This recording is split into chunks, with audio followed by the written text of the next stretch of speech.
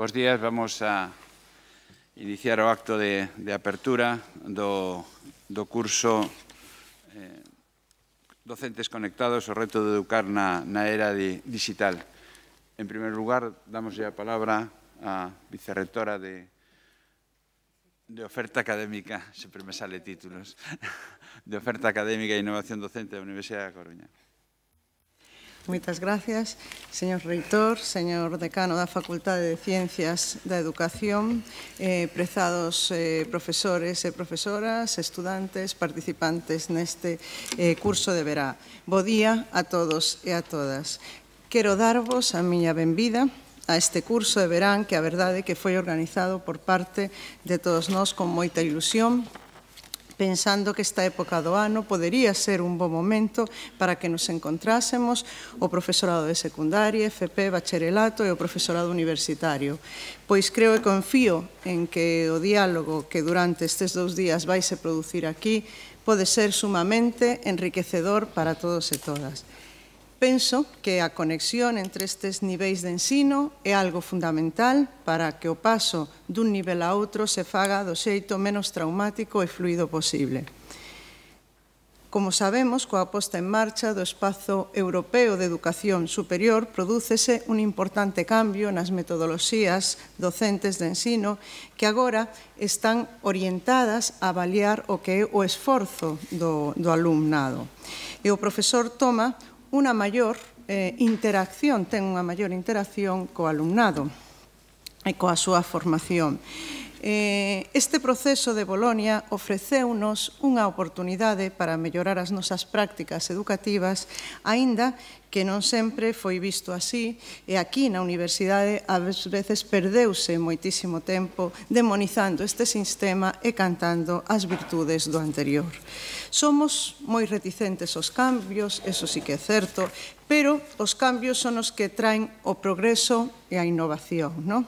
Eu penso que, que foi o, o presidente Kennedy o que dixera que o cambio era lei de vida e que os que miraban só cara ao pasado e ao presente seguramente perderían eh, o futuro.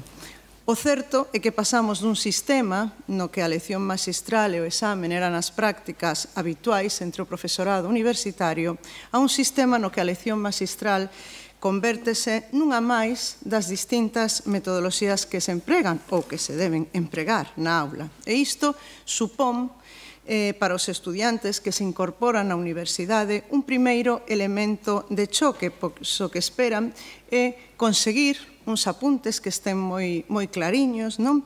Eh, estudialos e logo reproducilos nun exame. Eh, despois de todo, pois esta é a formación que tivemos moitos na, na universidade, moitos de nós, non?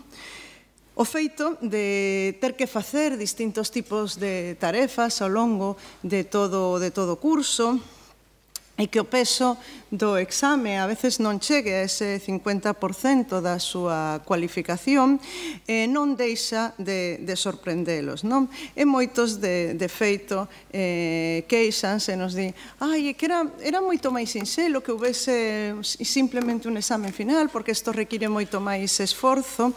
Eh, entón, bueno, pois temos que loitar contra eh, esas, mm, ese modo de traballar que co que veñen na no? universidade, aínda que agora vaise vendo que xa non lles eh, resulta tan, tan extraño non está este xeito de ir eh, traballando nas, nas materias e avaliando as, as materias. Non?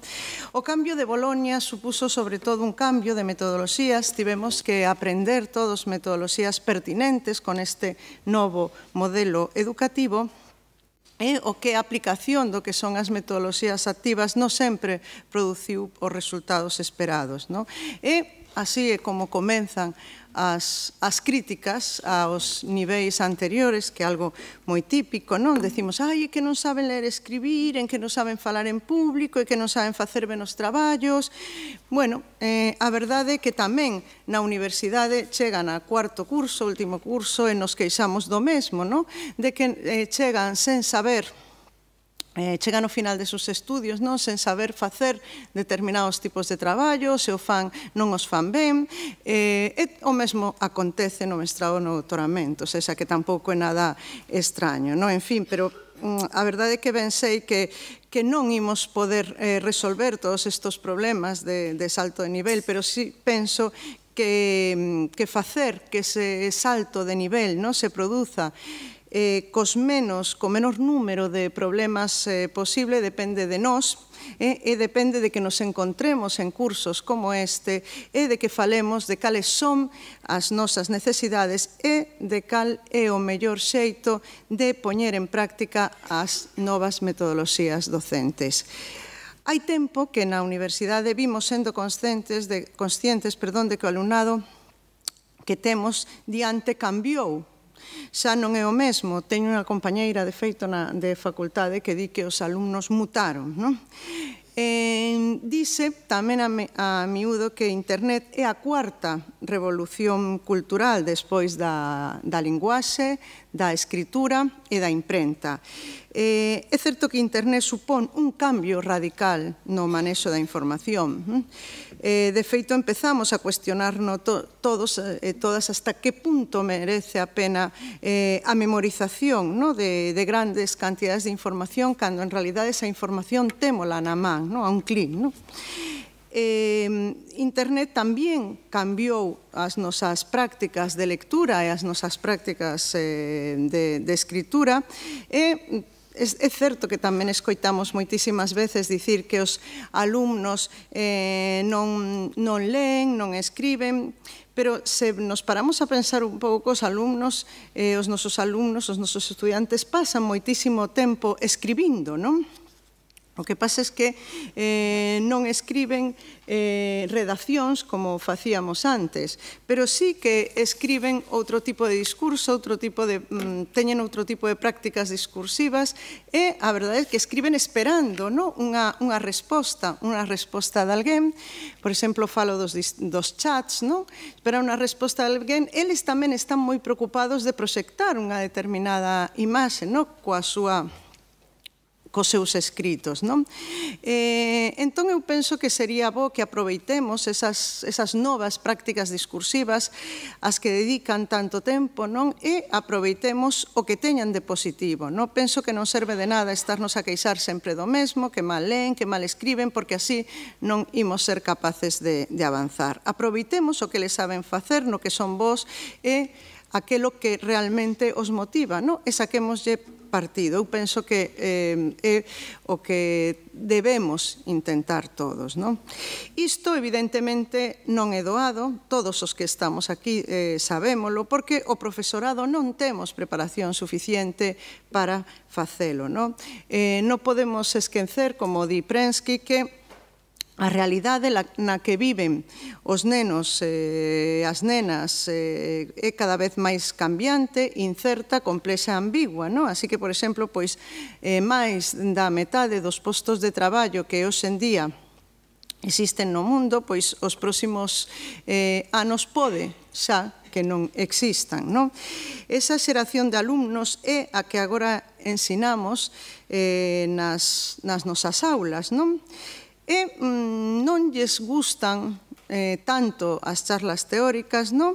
Eh, quere que mm, ese alumnado, pois o que espera, e que as súas opinións se podan valorar, se podan ter en conta, non? Eh, queren crear tamén, eh, é certo que son moi creativos, non? E, eh, mm, pero queren crear empregando a, o que son as ferramentas do, do seu tempo, non? eh, porque tamén eh, desexan conectar cos seus eh, iguais para expresar e compartir as súas opinións en clase e ao redor do mundo. En definitiva, queren eh, unha, como di Prensky, estas son palabras de Prensky, educación que non sexe únicamente relevante, senón conectada coa realidade. Eh, viven nun mundo, ses estudiantes, no que todo cambia moi rápido, E ás veces esos cambios eh, se producen eh, cunha velocidade de vértigo. Non? Por eso hai eh, que motivar eh, cada día nas aulas aos estudantes para eh, que eh, aprendan eh, con maior facilidade no? de como o fan actualmente. Eu penso que, que é importante para todos e para todas nós traballar eh, nese, nese futuro E penso, como xa dicía antes, que un bo eh, xeito de, de facelo é a través de, de ocasións como esta, que, que foi, de feito, concibida para o debate o intercambio de ideas sobre a mellora da práctica docente. Espero que este curso cumpra con todas as vosas expectativas e que sexa o comezo dunha fermosa amizade ou alianza profesional, que, sen dúbida, redundará na mellora da calidade dos procesos de ensino-aprendizaxe que o grande obxectivo que nos plantexamos desde a miña vicerreitoría. Moitas grazas pola vosa asistencia e benvidos.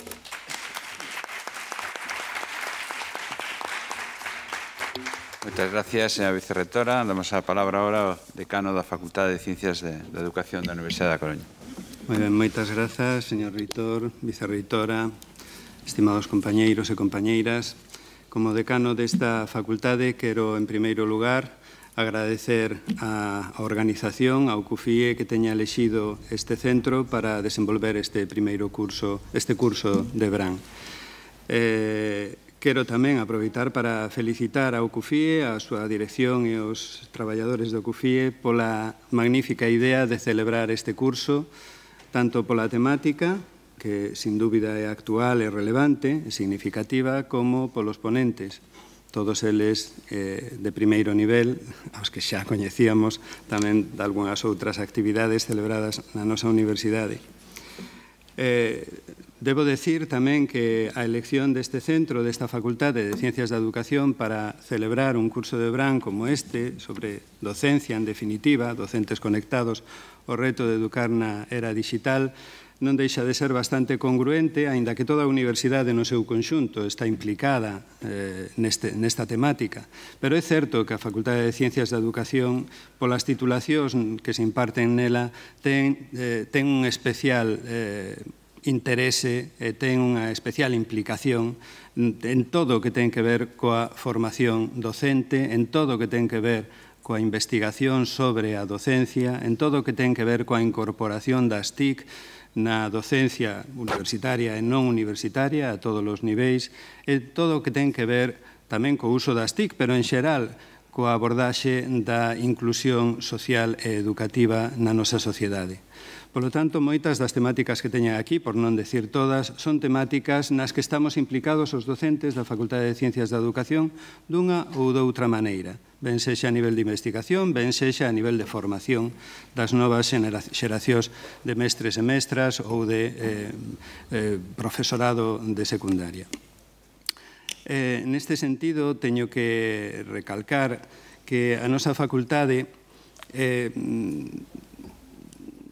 penso que nunca deixou de defender, e nunca deixou de plantexar a necesidade de que entre todos os niveis educativos exista unha continuidade, unha continuidade que probablemente nunca existiu ou se existiu se perdeu na, eh, na aurora dos tempos e que é necesario recuperar.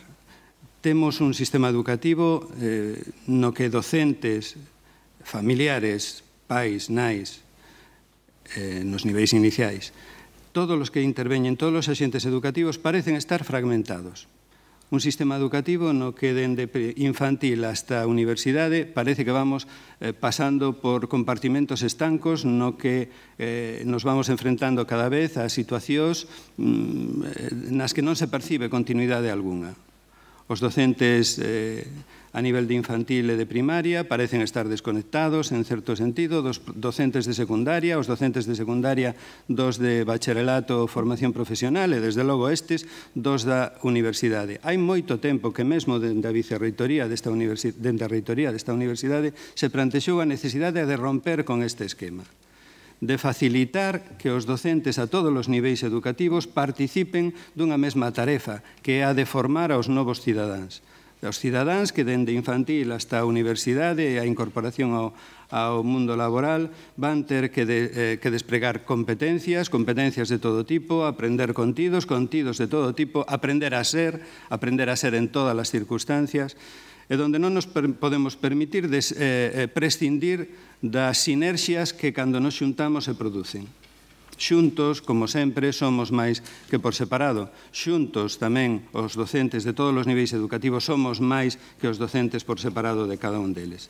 Esta é unha ocasión, unha ocasión máis, que sempre tratamos dende a universidade de promover, pero é unha ocasión, é unha ocasión para que esas sinerxias se produzcan e estou convencido de que o farán, de que de aquí saldrán, sairán eh, aportacións importantes e reflexións importantes sobre o mundo no que vivimos e sobre o reto que nos eh, plantexa a era digital. Eh, falaba a vicerreitora hai un momento da incorporación das, eh, bueno, dos cambios eh, metodolóxicos que se plantexaron eh, a universidade na, na universidade despois de Boloña. Eh, Eh, dende o punto de vista da, das novas tecnoloxías, mm, eh, se plantexaron tamén retos importantes á nosa universidade e se, plante, e se observaron tamén resistencias importantes na, na nosa universidade, na nosa, nas nosas universidades, se podería decir. Hai unha tendencia eh, casi instintiva por parte do profesorado máis senior no? a eh, tomar calquera cambio que se produzca eh, a nivel metodolóxico e mesmo tamén a nivel tecnolóxico como algo mm, que pode romper os esquemas do seu, da súa docencia ordinaria. Eh, esas resistencias penso que se venceron, pero tamén penso que mm, eh, non se venceron de todo. É dicir, siga habendo moito profesorado universitario que, si ben é certo que empeza a utilizar, a incorporar na súa docencia universitaria as novas tecnoloxías, tamén é certo que eh, o fai dunha maneira absolutamente eh, errónea utiliza as novas tecnoloxías e se sinte satisfeito de utilizalas porque as usa como un modo de presentación, como un sustituto do encerado, como unha maneira de facilitar supostamente a aprendizaxe dos estudantes, porque usamos PowerPoint, porque usamos algunha ferramenta tecnolóxica ou informática, de, bueno, máis ou menos recente, que parece xustificar xa o noso, a nosa actualización docente, no?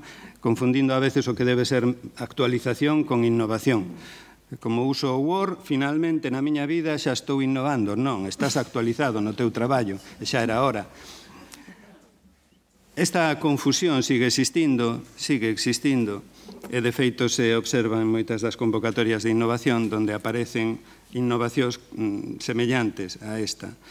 A, a, eh, eh penso que o camiño que nos queda por recorrer é penso que o camiño que nos queda por recorrer a todos e a todas é todavía longo e importante.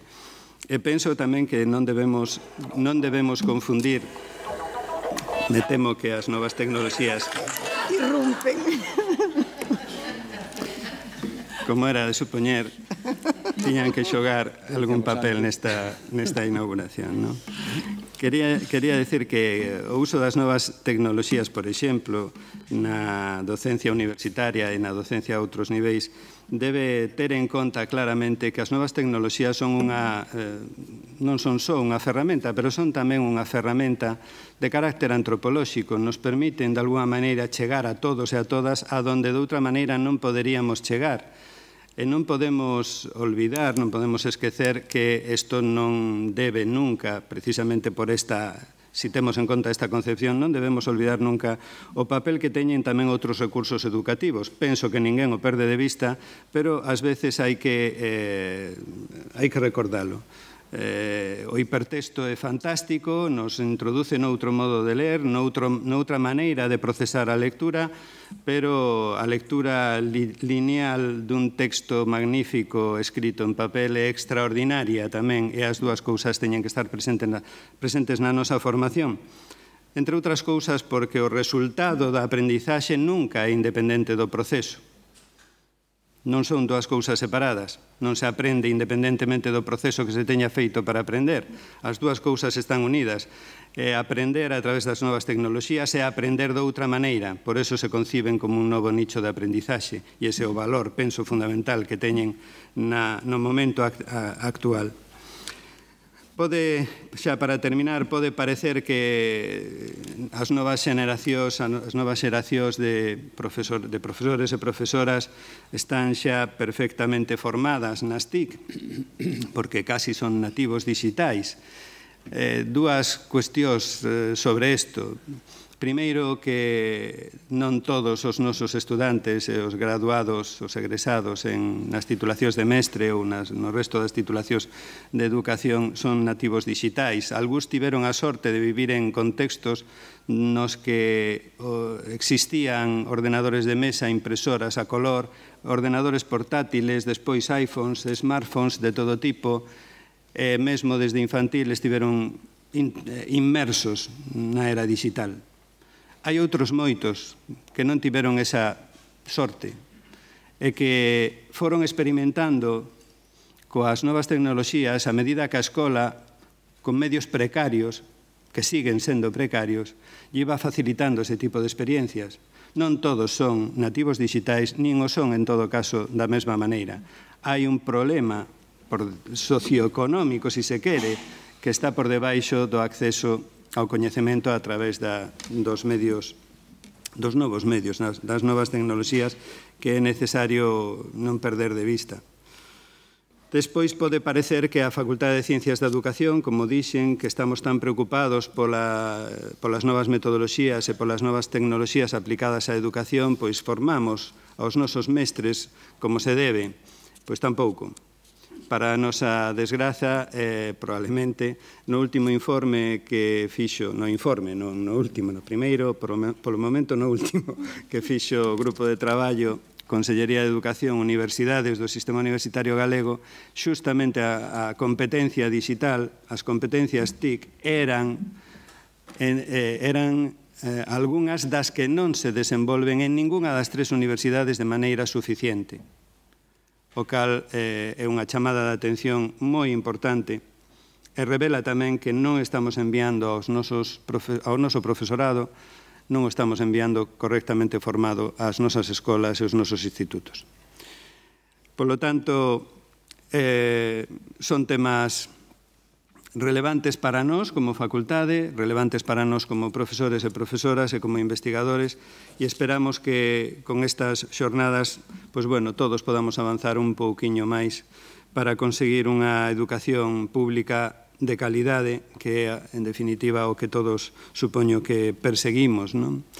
Eh, remataría cunha, cunha frases, unha especie de parafraseo de Vygotsky, dicindo como reflexión final que entre as redes da tecnoloxía non se perda o verdadeiro sentido da educación, que ás veces tendemos a eh, perdelo. A tecnoloxía, insisto, eh, en certa medida un novo paradigma, dá lugar a novos paradigmas, a novas metodoloxías, novos recursos, pero o sentido da educación non se pode perder en ningún caso.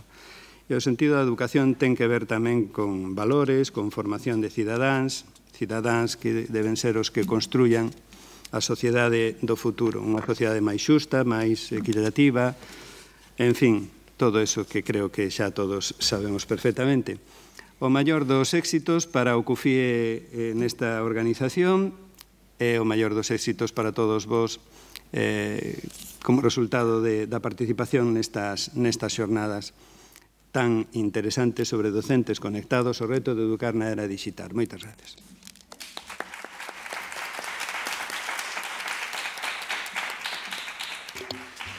Moitas gracias, eh, señor decano, eh, vicerrectora, eh, ponentes que, que nos acompañades hoxe aquí, eh, eh, alumnos e alumnas que participades no curso, eh, organizadores.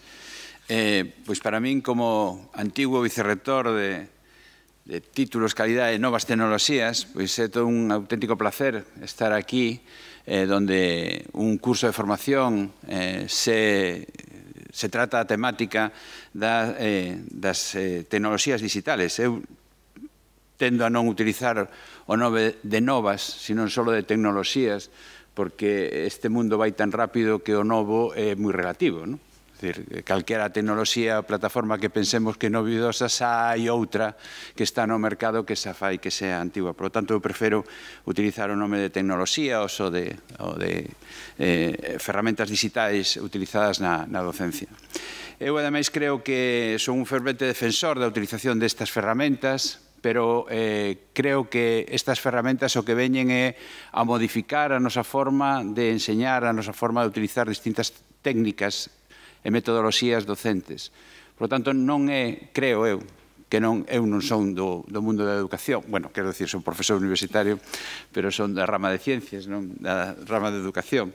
Eh, entón, algunhas metodoloxías as vas aprendendo practicando día a día na aula, non?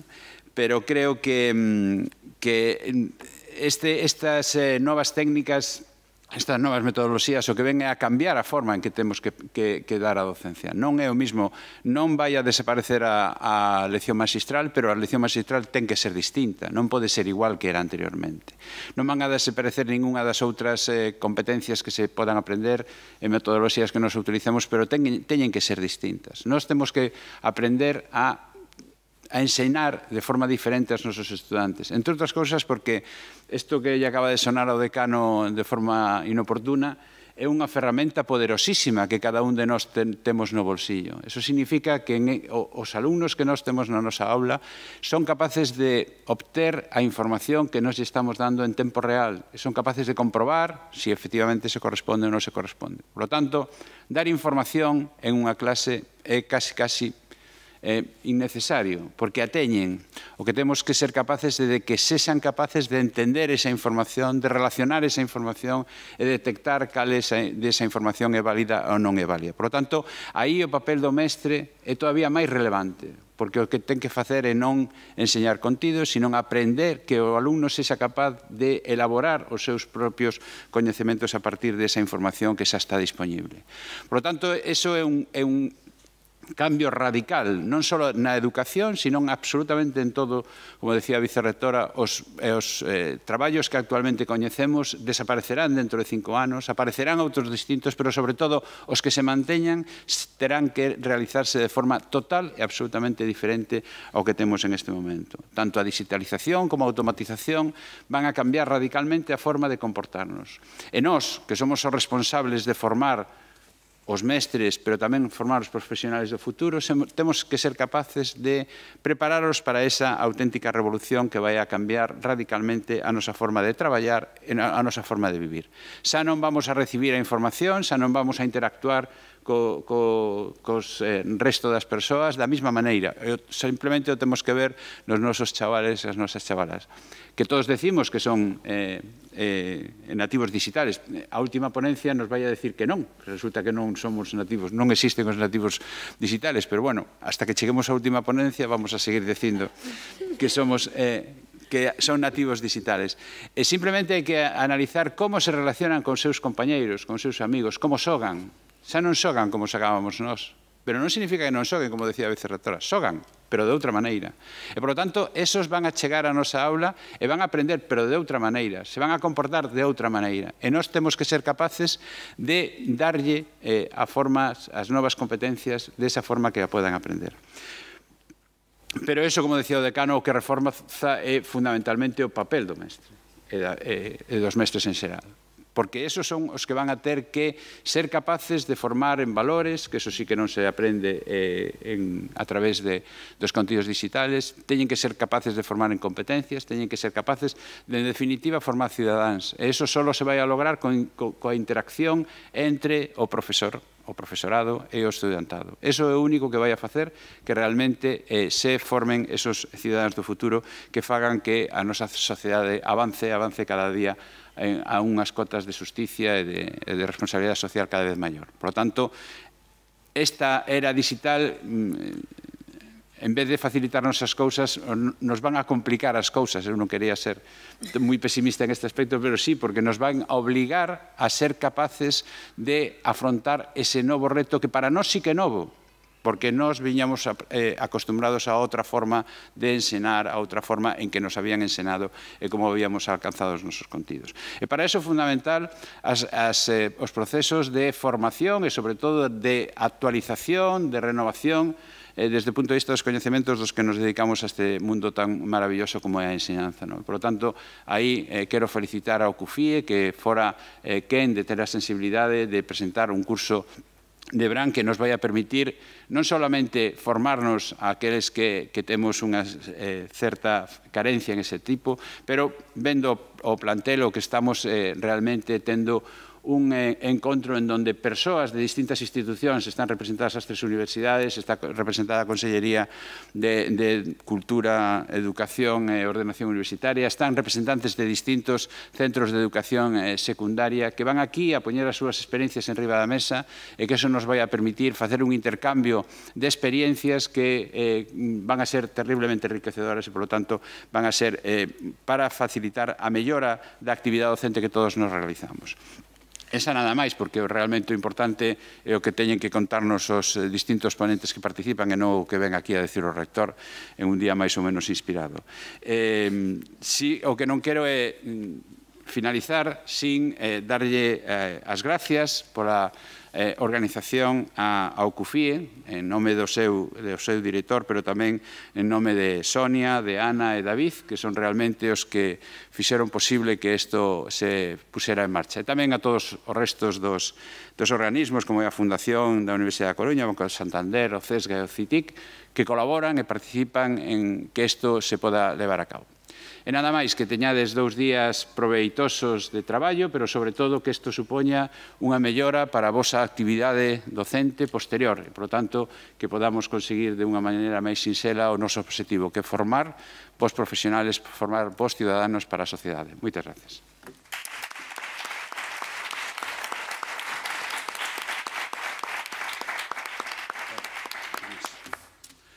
Eh, queda inaugurado el pantano.